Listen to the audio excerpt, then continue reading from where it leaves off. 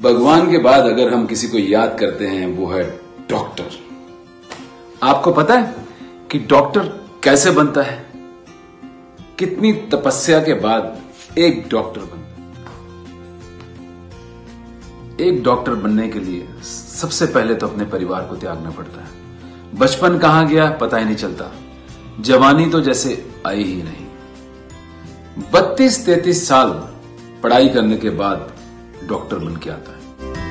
और और सबसे बड़ी जानकारी आपको दूँ, असली परीक्षा बत्तीस तैतीस साल जो परीक्षा दी, वो भूल जाइए आप। असली परीक्षा तो अब शुरू होती है, डॉक्टर। जब उसे यह सुनना पड़ता है कि doctor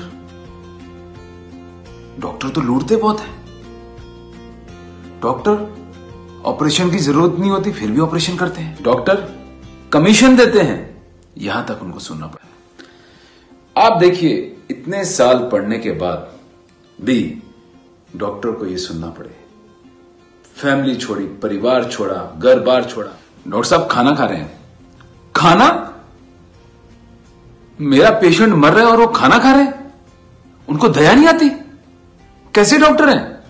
Doctor can't go anywhere. Doctor can't sleep. मेरा मरीज़ मरदा पे तुम कोर्ट च गए कहते पे हो। व्हाट इज़ दिस डॉक्टर साहब जरा आ रहे हैं अभी। वो उनके घर में कोई मेहमान है। मेहमान? डॉक्टर के घर में मेहमान?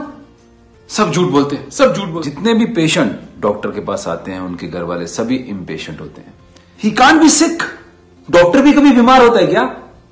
Nobody will believe he can't go to even toilet he can't take dinner खाना नहीं खा सकते हो। मेरा मरीज़ मर रहा है आप खाना खा रहे हो?